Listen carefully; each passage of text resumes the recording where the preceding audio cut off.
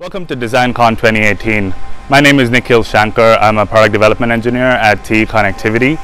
And what we're demonstrating here today is a QSFP-DD thermal system.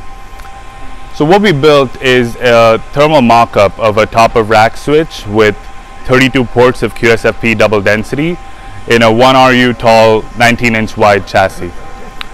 So QSFP double density is our next generation pluggable I.O. form factor.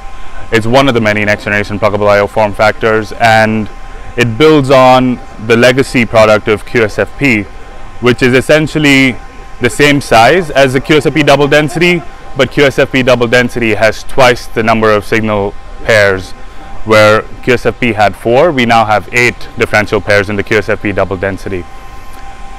We're also able to double the speed of each of the, the lanes. So what that does is it takes a 100 gig QSFP module and we now have a 400 gig QSFP DD module.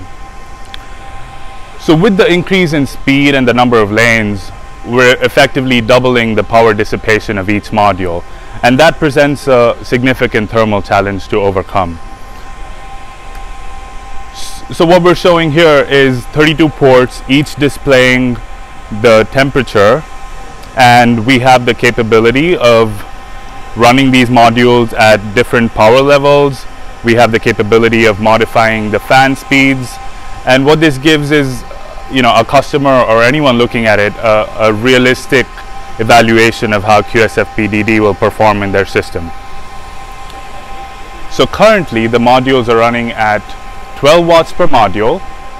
We also have ASIC chip heaters which emulate the power dissipation of ASIC chips. And they are currently running at 220 I can up that power to maybe 320 and we have the the temperatures displayed on the ASIC chips. We have the airflow number which is uh, uh, around 100 CFM right now. And if we look at the temperatures again we're looking at temperatures at around 39 to 40 degrees Celsius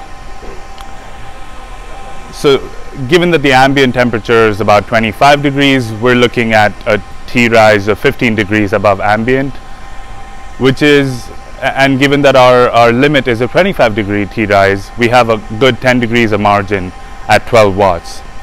So we can easily, in a realistic, in a real system, get the power levels up to 15 watts or beyond and still be able to cool that effectively. All of that is possible because of are a significant optimization process that we went through with designing the cage, the heatsink, and the heatsink clip to be able to dissipate that heat from these modules. So now we're able to do 15 plus watt, watt modules and that will, that will prove to be a significant differentiator for our product.